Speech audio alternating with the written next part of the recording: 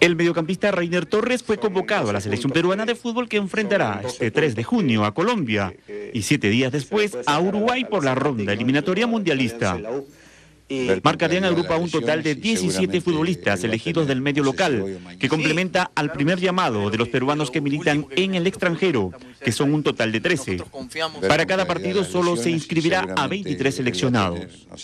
La nómina la integran dos jugadores de Alianza Lima, tres del Juan Aurich, uno del León de Huánuco, tres de Sporting Cristal, otros tres de la Universidad San Martín de Porres y cuatro futbolistas de la U.